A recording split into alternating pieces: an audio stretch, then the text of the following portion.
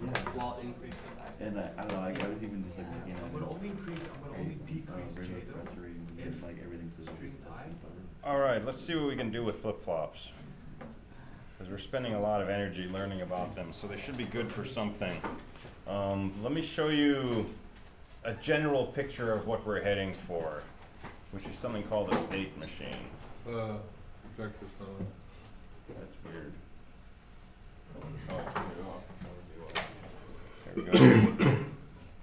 All right, so we're heading for a state machine. Um, flip-flops have this notion of memory. They have a notion of state. Their behavior depends on what happened in the past. A T flip-flop, you can't just look at the inputs and know what the value is going to be on the output after a clock tick. You got to know what the current value is because it toggles if T is 1 and it stays the same if T is 0. So it's more than, than a combinational circuit. It's not just the set of inputs, it's also the history of the past that affects the behavior of the system. So a state machine capitalizes on that and lets us create general machines whose behavior depends on things that have happened in the past. For example, a counter. So we might want something which, when the clock ticks, outputs a zero zero, and then when the clock ticks again, outputs a zero one, and then in the next tick, outputs a one zero, and then a one one, and then goes back to zero and keeps going. That's a two-bit counter.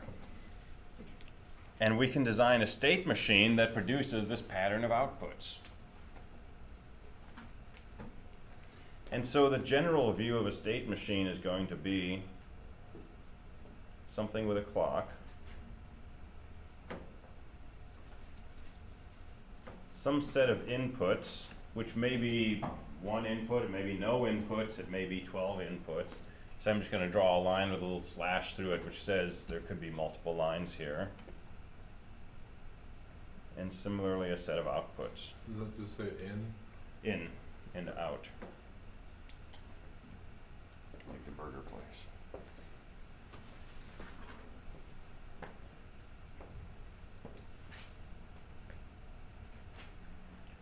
And the behavior of this system, how the outputs respond to the inputs into the past, is something that we need something more than a truth table to describe.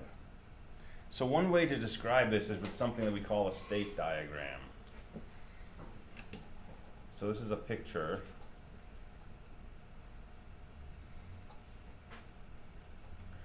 And here's how we could describe this counter with a state diagram. We draw a circle for each state the system can be in. And I'm just going to call this state 0 and state 1 and state 2 and state 3. And underneath each state, I'm going to show what the outputs of the system are in this state. And I'm going to draw arrows to show how we move from one state to another. So a counter is very simple. It goes from state 0 to state 1 to state 2 to state 3 and back to state 0.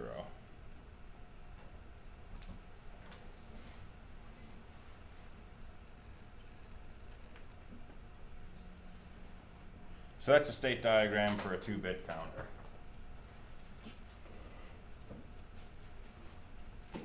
And these state names, S0, S1, S2, those are arbitrary. They're just ways we can talk about each state. But I could call them A, B, C, D if I wanted. And this counter circuit has no inputs. It's just set up so every time the clock ticks, it moves to the next value of the outputs. But let's make it a little more interesting. Let's add an input.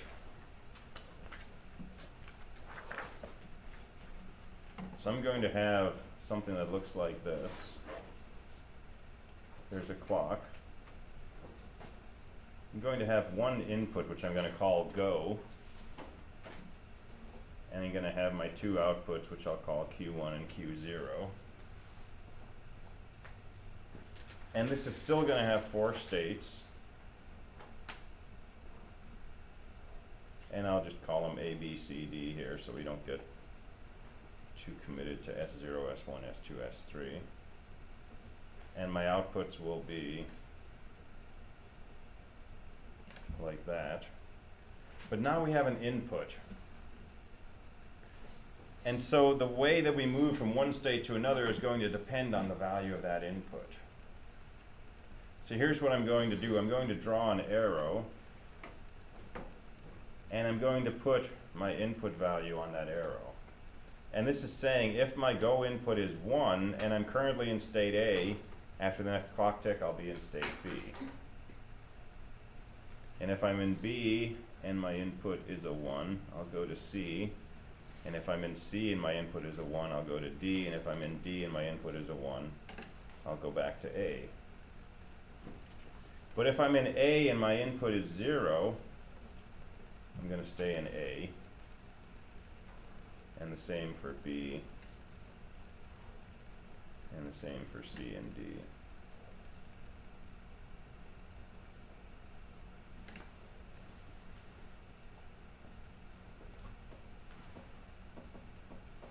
And I'm going to make a key for reading this because there's some ambiguity here. So in here I'm writing the name of the state. Underneath it I'm writing the output values for Q1 and Q0. And on the arrow I'm listing the value of go. And so with this key and this state diagram, we can completely understand what this state machine is going to do. So it's basically a two-bit counter that I can pause. If my go input is 1, it counts on each clock tick, 0, 1, 2, 3, and back to 0. But at any point, if I set the go line to a 0, it pauses at that count. And each time the clock ticks, it stays in that state, so it stays at that output value. Would four give you the same result as that? What do you mean would 4? Oh, it can only be zero or one? Yeah, because there's only two bits. Okay.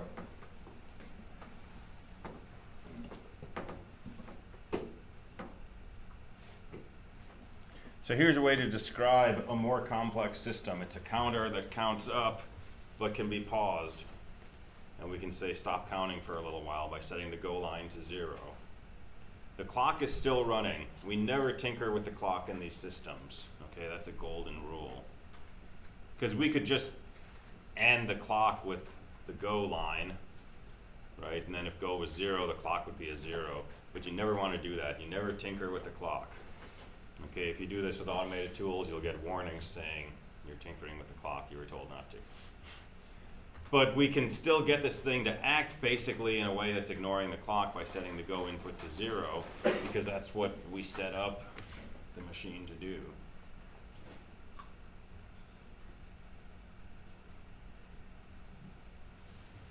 So let me show you another state diagram. Let's have you tell me what it does.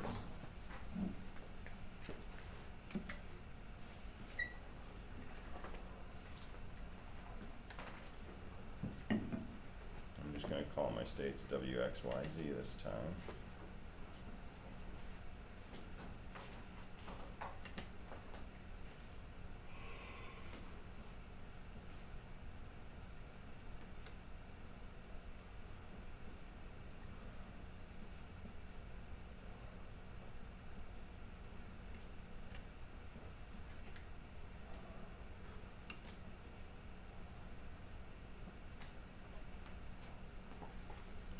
What's going on with this machine?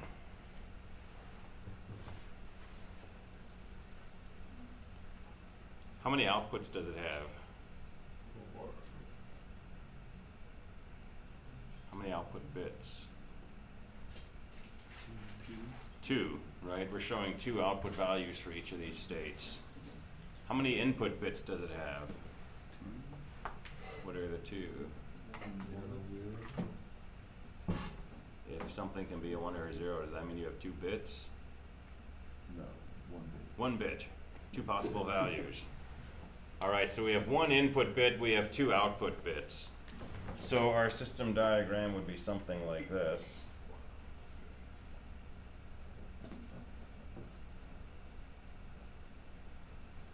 And I'm deliberately making these unconventional names. So in and then out one and out two. And now the grand question, what is the behavior of this machine according to this diagram? How can we describe what it does? I haven't shown the clock, but there's always a clock here. Goes forward on one and back on zero? Goes forward on one and back on zero. If our input is one, it counts up. Zero, zero, zero, one, one, zero, one, one, zero, zero, zero, one. But if our input becomes a zero, it starts counting in the opposite direction. It counts down. Basically from three to two to one to zero and back to three. So this is a two-bit up-down counter. And this input basically set it to one to count up, set it to zero to count down. Good.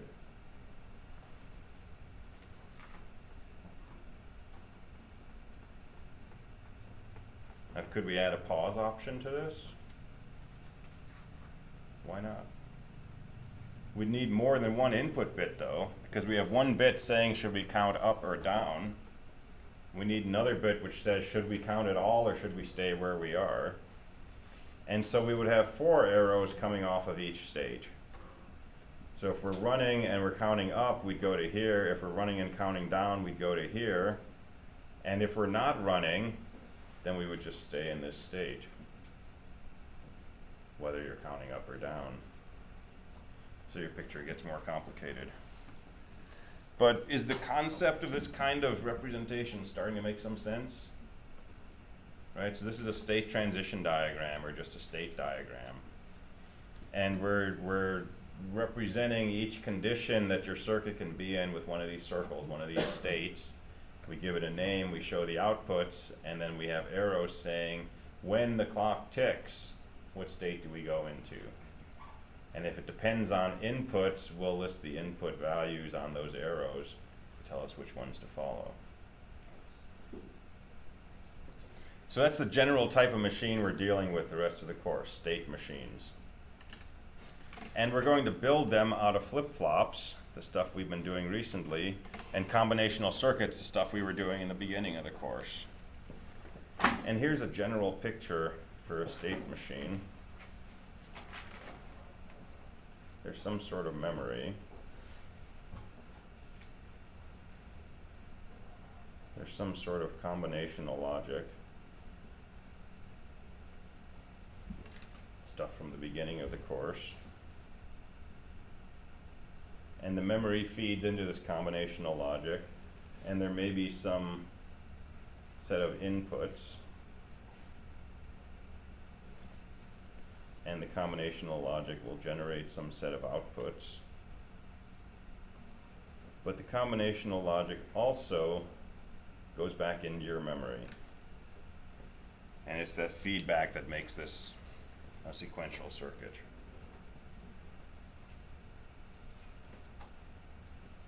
So your memory, this is a bunch of flip-flops. The outputs go into some logic, generate some ones and zeros, and those ones and zeros ultimately might change the values that are stored in the flip-flops next time the clock ticks.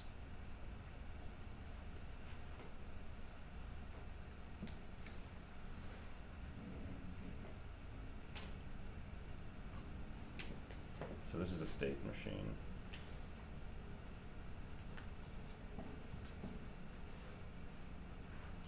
And there's two types of state machines, Mealy machines and Moore machines. This is technically a Moore machine. And I don't want to get into the distinction right now because it takes us down confusing side paths. But the way I've drawn this, um, sorry, forget that. Um, forget about what I just said because that's not a picture of either.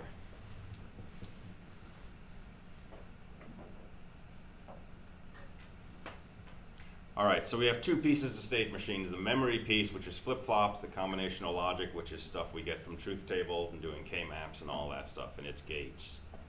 And the outputs of the gates usually come back and feed into the flip-flops.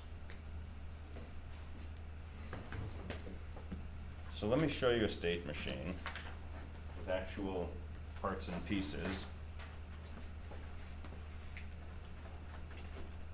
And let's analyze it. So this state machine is gonna be built with D flip-flops.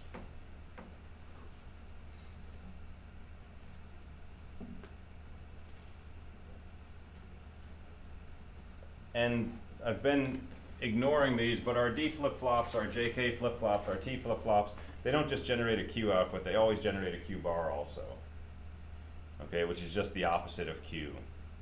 And having that available, sometimes it saves you from using a lot of inverters. If you needed to have Q bar, you could put it through an inverter, but you could also just pull it off the Q bar output.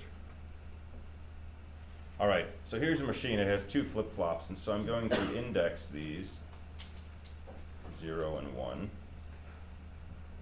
And their clocks are always going to be fed from a common clock source. Again, we don't monkey with the clocks.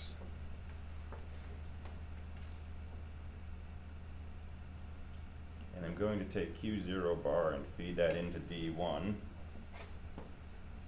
And I'm going to take Q one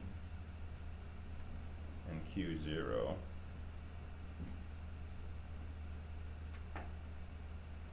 And I'm gonna NOR those. And feed that into D zero. And then I'm going to generate a pair of outputs, which I'll call Z zero and Z one.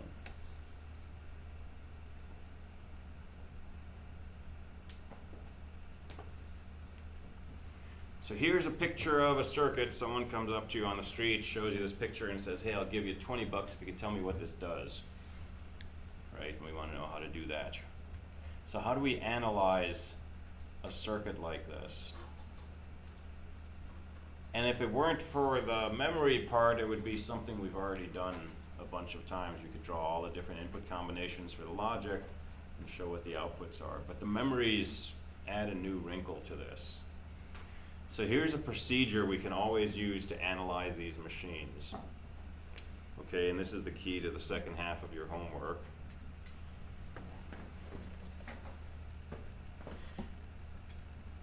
So we have two flip-flops. They're D flip-flops. Presumably we know what D flip-flops do, but you go back to your, your notes and, and refresh your memory accordingly.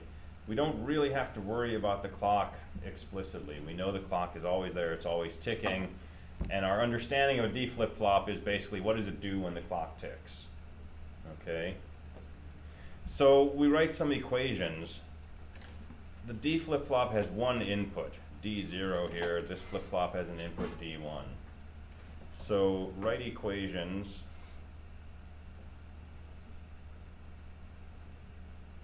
for the flip-flop inputs.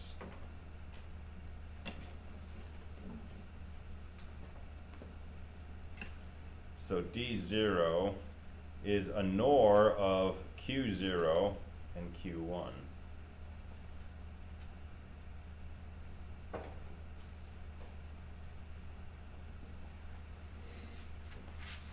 And what is D1?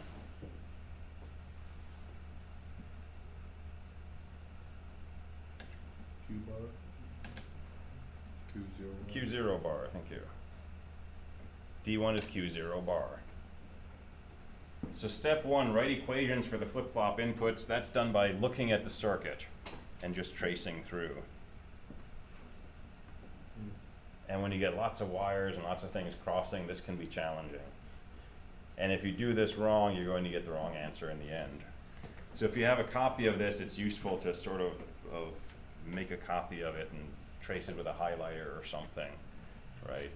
Make sure that, that you're as close to accurate as possible. All right, so we have equations for D0 and D1. Um, this is probably before step one, but it doesn't matter. Step two, decide how many states this machine has. Well, how do we figure that out?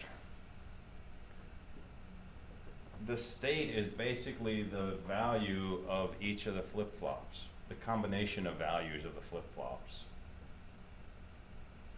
So if this flip-flop is outputting a zero and this flip-flop's outputting a zero, that's one state. If this is outputting a one and this is outputting a zero, that's a different state. If they're both outputting one, that's a different state. Every possible combination of flip-flop values gives you a different state. So how many possible states are there for this machine? There's four. What if there were three flip-flops? There'd be eight possible, right? Zero, zero, zero, zero, zero, one, zero, one, zero, all the way up to one, one, one. So how many states? This is two to the number of flip-flops.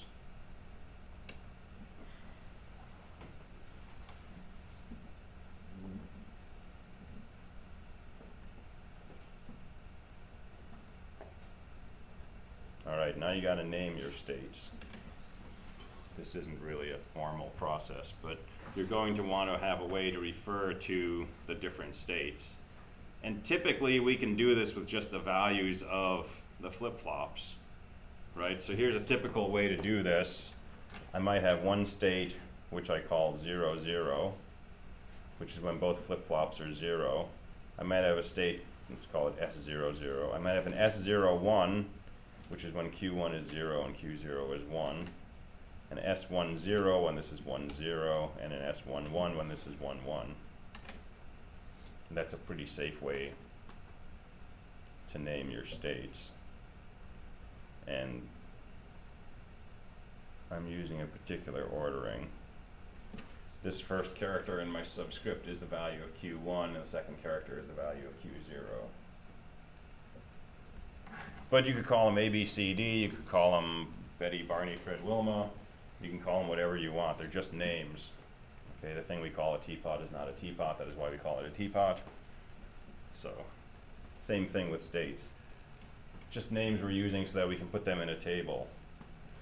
We don't want to put in a table where we say this is state zero zero though. Because zero zero is just a two-bit number. Right? We gotta have some way of knowing that what we mean by that state is the state where Q zero is zero and Q one is zero. Okay, this is a minor point, but it's really important. So we're going to make a state assignment table.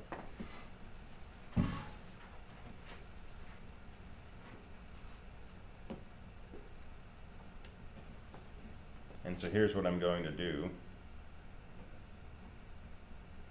I'm going to list all of my states, whatever I call them, A, B, C, D, whatever. And I'm going to indicate how I know which state I'm in, which is based on the values of Q1 and Q0.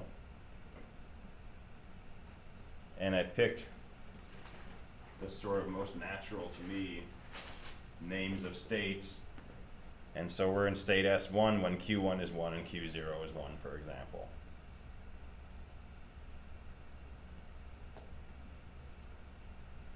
But again, if you decided to call your states A, B, C, D, this could be A, B, C, and D, or whatever order you like.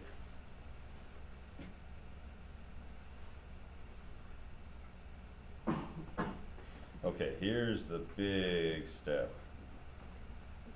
Make a state transition table.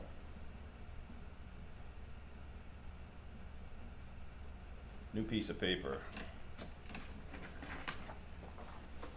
So here's what a state transition table looks like. We have a column called current state.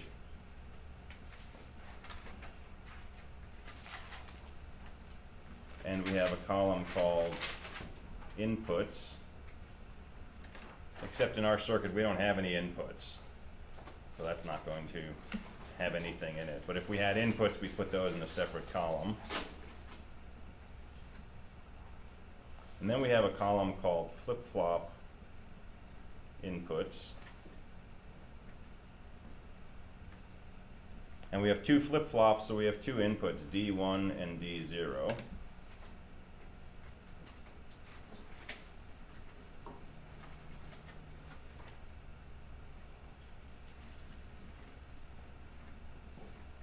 And let me,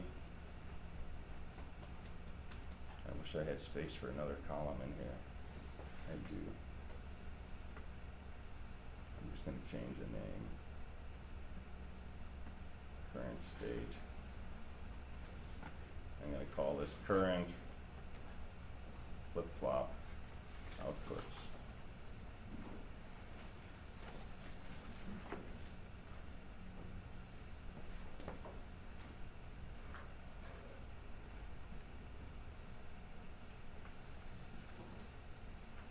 I'm messing this up in a lot of ways, man. Um,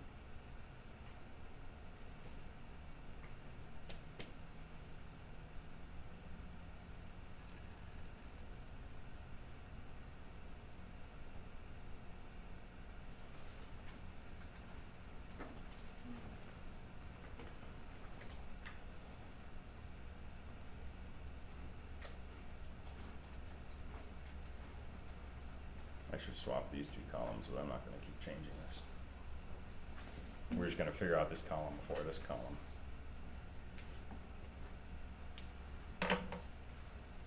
Alright, so current flip-flop outputs are going to be Q one and Q zero.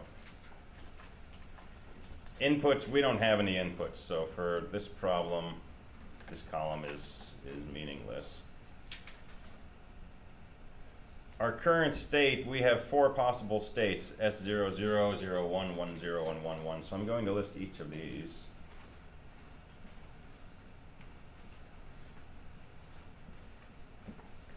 And so we're gonna have four rows in this table. But if we also had an input, we'd have two input values for each of these states, we'd have eight rows in the table.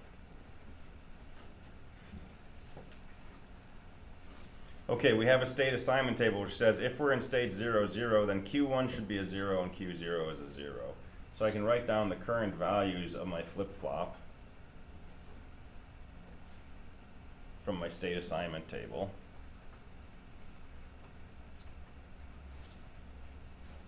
And now we're going to fill in this column using these equations that we came up with.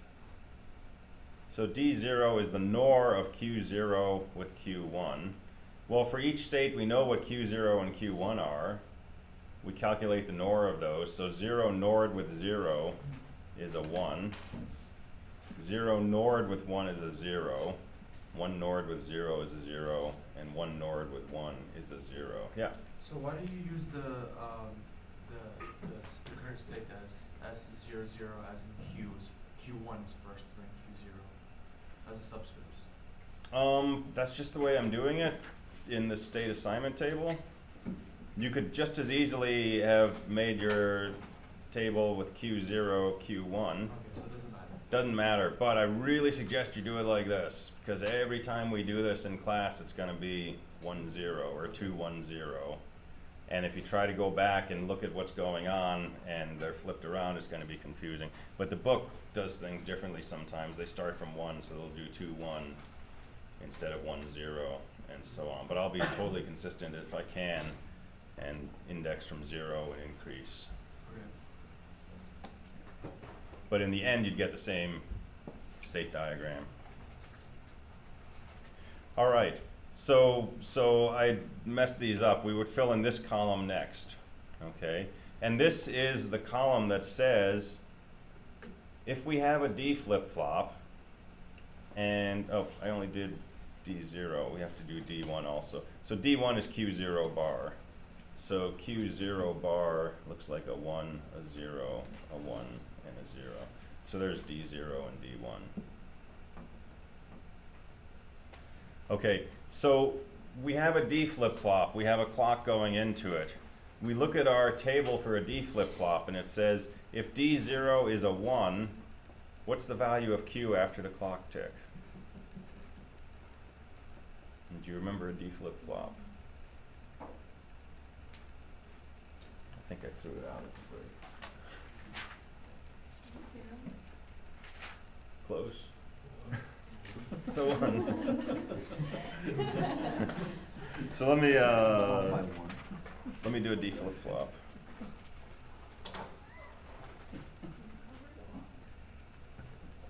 Yeah, I know, it's, it's, it's pretty crazy.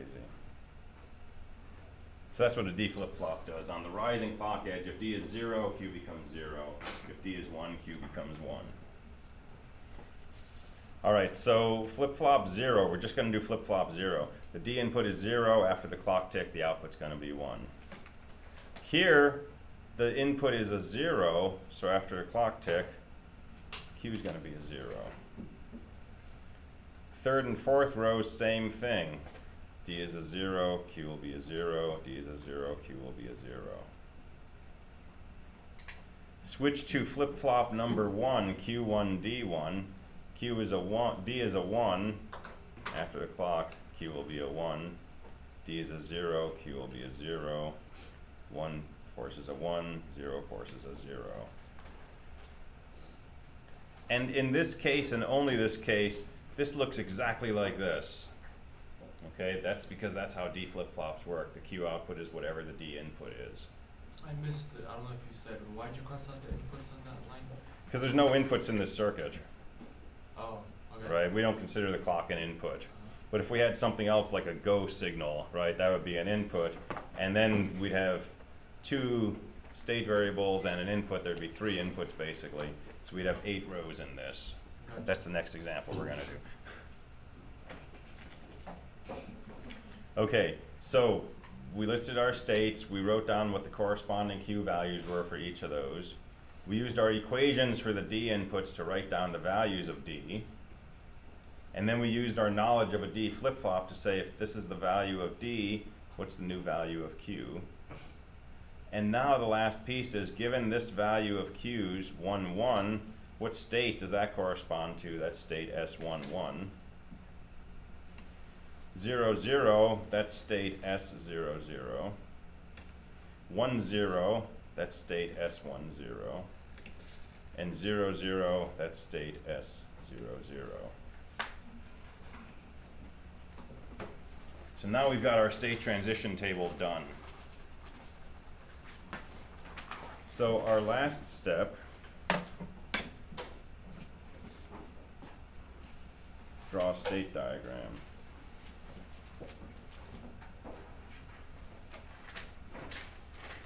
State transition diagram. New sheet of paper. So what information do we have on here? If your current state is zero, zero, your next state is one, one. If your state is zero, one, your next state is zero, zero. If your state is one, zero, you stay in state one, zero, and if your state is one, one, your next state is zero, zero. Well, that's pretty confusing, but if we draw a picture, we may be able to make some sense out of it.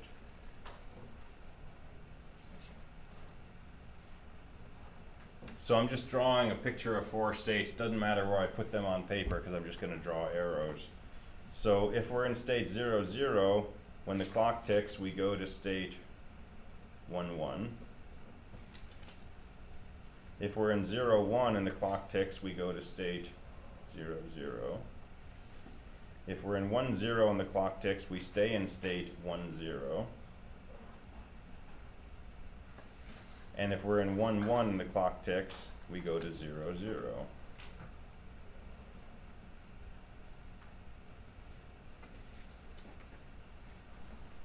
So barring mistakes, and this was not what I intended the machine to look like, so I may have made a mis- mistake somewhere. But barring mistakes, what does this machine do? Well, it's kind of a weird machine. If you happen to start in state one, zero, you stay there forever. Nothing changes. If you happen to start in state zero, one, you go to state zero, zero. And once you're in state zero, zero, you ping back and forth between that and state one, one, and you just bounce back and forth between those forever.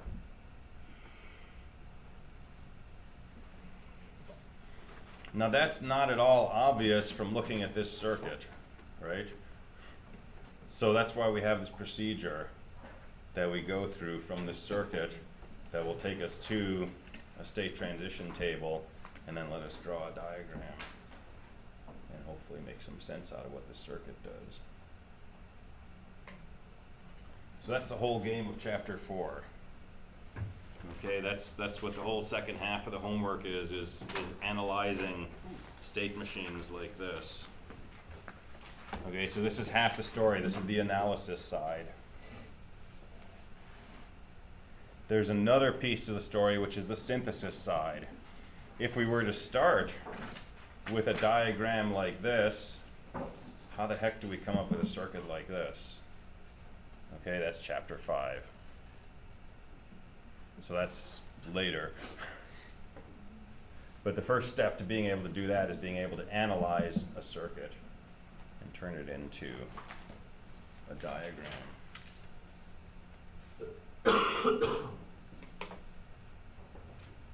All right, you ready to try another one?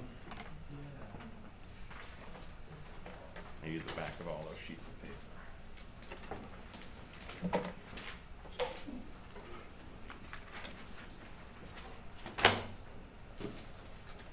So This time we're gonna use T flip-flops.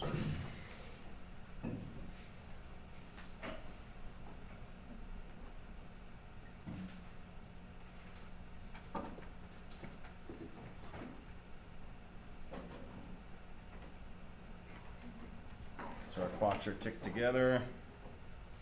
And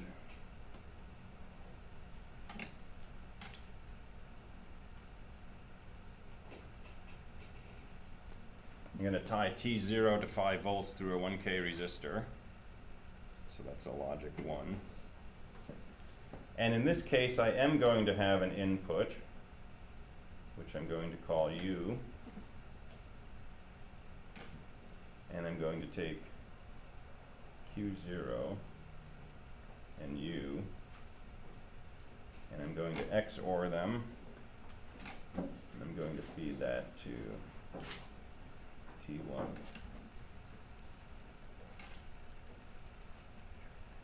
And here's Z zero. I think I abandoned our Z's in that last example, but the Z's were just equal to the Q's.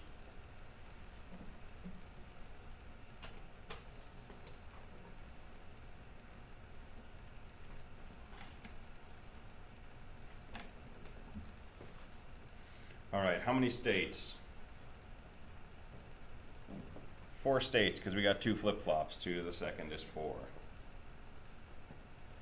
What should we call our states? I'm not gonna call them S zero zero, S zero one.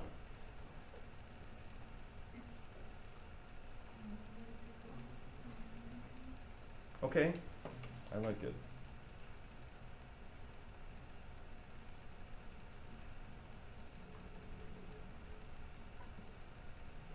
States are called A one, A zero, B one, B zero. And remember, your state depends on the value of the flip-flop, so I'm going to make an assignment. This assignment can be completely arbitrary. But since we wrote them in this order, I'm just going to assign them like that.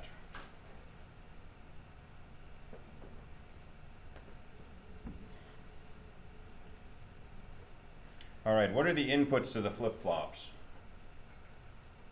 What are they called in this picture?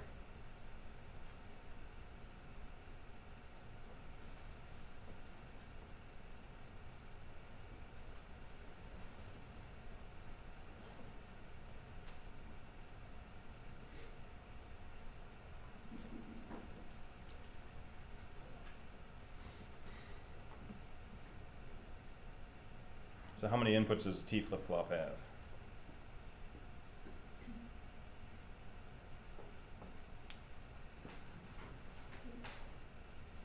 Which are,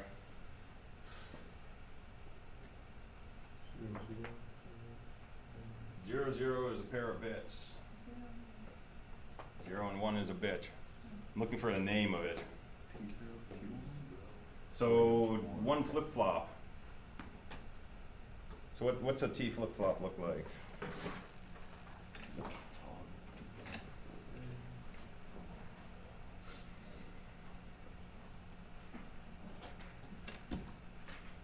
Right, so technically how many inputs?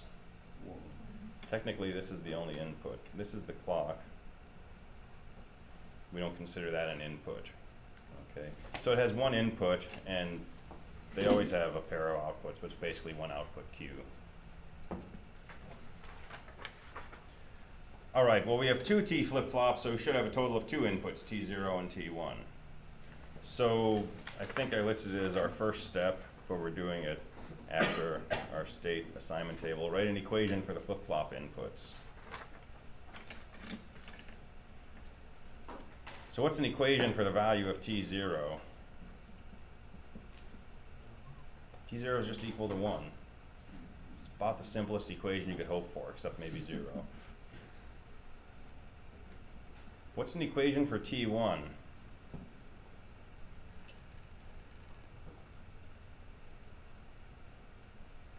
Is that a NOR gate? That's an exclusive OR. Should have put a circle around here. Exactly. This is U XORed with Q zero.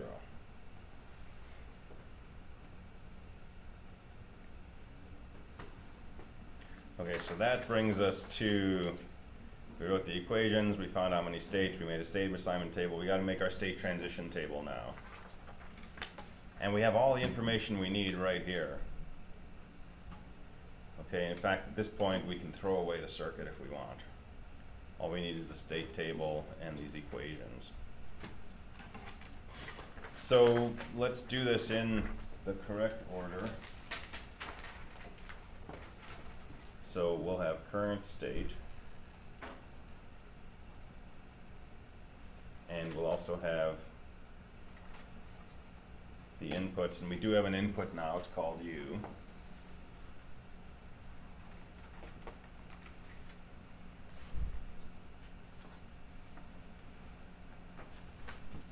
So we've got four states and one input, so, um, state A one and our input U could be a zero. Or we could be in state A one and our input could be a one. Or we could be in state A zero and our input is zero. Or A zero and our input is one, and so on.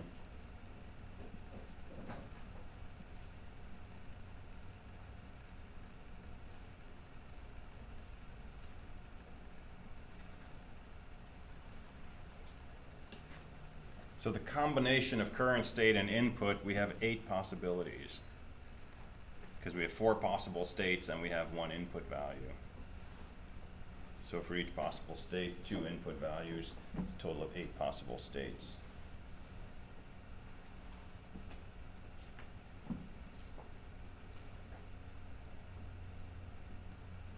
Okay, so let's add current flip-flop outputs. So we've called these Q1 and Q0.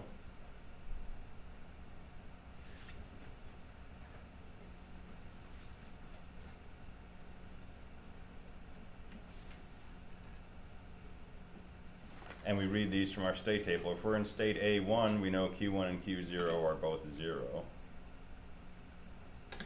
If we're in state A0, we know Q1 is a zero and Q0 is a one.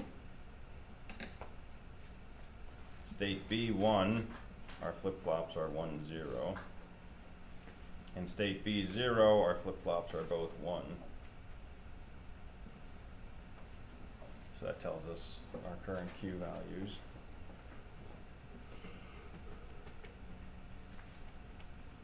And now we want to write down the inputs to the flip-flop. So flip-flop inputs.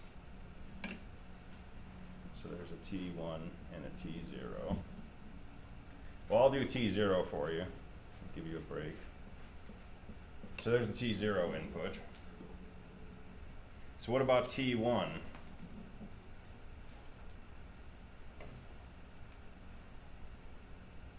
So T1 is U XORed with Q0, right? So we want to take this column and this column and do an exclusive OR. And that'll give us the value of T1. So 0 XORed with 0, 1 XORed with 0, 0 1, and 1 1. Okay, good. You know XORs. And this looks exactly the same.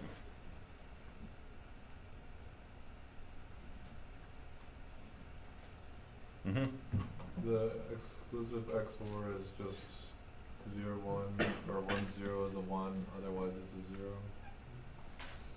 So it looks like this. Okay, So it's like an or except for this last row, okay. where if they're both one, it's a zero. And while we're here, let's go ahead and add our outputs, because I, I specified some outputs, Z1 and Z0 here. And Z1 is just Q1, Z0 is just Q0, so we don't really get any extra information.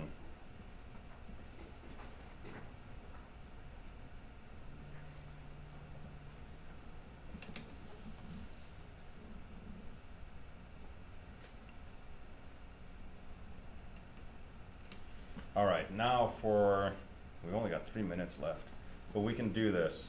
Um, let's figure out what the next flip-flop outputs. Q1 plus and Q0 pluses, and this is where you get lots of exercise with different kinds of flip-flops. So we have a T flip-flop, and the clock's going to tick. So let's just look at flip-flop one. If the T input is zero, what happens when the clock ticks to the output? Anything? It's unchanged. What's the current value of Q1 in this first row? It's a zero. So after the clock tick, it's still going to be a zero. Flip flop zero, though, the T input is a one. So what's going to happen to the output on the clock tick? Going to flip. What's the current value of Q0? It's a zero, so after the next clock tick, it's going to be a one. And you do that for all of the rows of your table.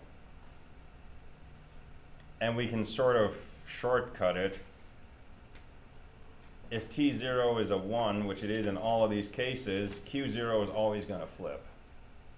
So this 0 will become a 1, these 1s will become 0, those zeros will become 1s, these 1s become zeros. Okay, but this might take you 10 minutes to do what I just did, right? Because this is how you figure out better what these flip-flops do. Okay, flip-flop 1, anywhere that the toggle input is a 1, Q is going to change value. So these two rows, T is a 1, those zeros will change to 1s. Here, this is a 0, it'll be unchanged.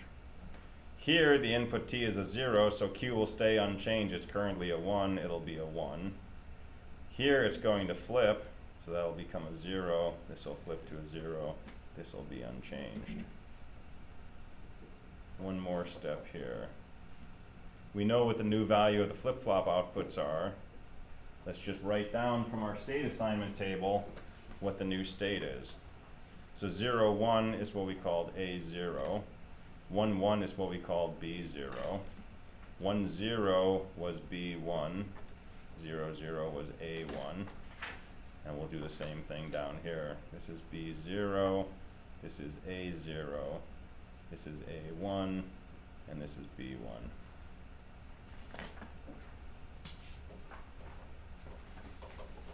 Now all we need is this and this. And we can make a state table. Let's do it.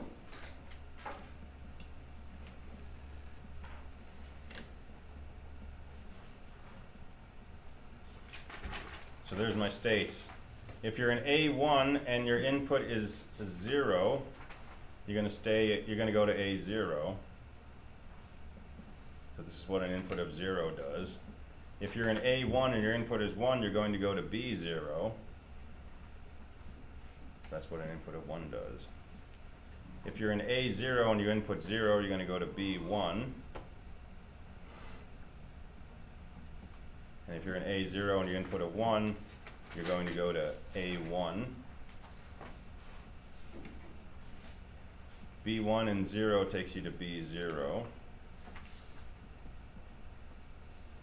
b1 and 1 takes you to a0. b0, 0 takes you to a1. And b0, 1 takes you to b1.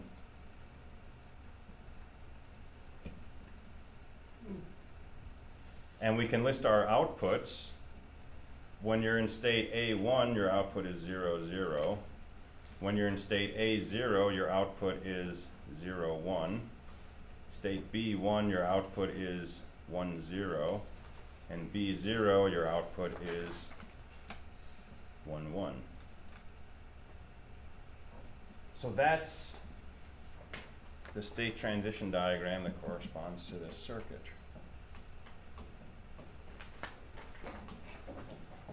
And in the last few seconds, can you describe what this is doing in words? Yeah, it's counting up and it's counting down. If U is zero, it counts up, zero, one, two, three, zero, one, two, three. If U is one, it counts down, zero, three, two, one, zero, three, two, one, so that's your up-down counter. Okay, so that's, that's, that could be a three-week lecture we just did. Okay, if this was like a semester-length course. Um, there's a lot there. Okay, so what I want you to do is work on the homework and take it as far as you can. And then post on the discussion board on Canvas if you get stuck. Okay, and I'll be around, I'll try to chime in and nudge questions in the right direction towards answers. Is two the only one you want us to skip? Skip two, but the other should be doable. Okay. What does PSNS stand for? Present state and next state. Okay. Yeah. Yeah, and there, there's probably terminology in those questions, because I took those from, from the book. Um, there's probably terminology like that, things like that come up, shoot a note on the discussion board, okay, and, and I'll chime in. Because I wanted to go through the homework, but we don't have time for that, so. Do what you can, have a good weekend, I will see you on Tuesday.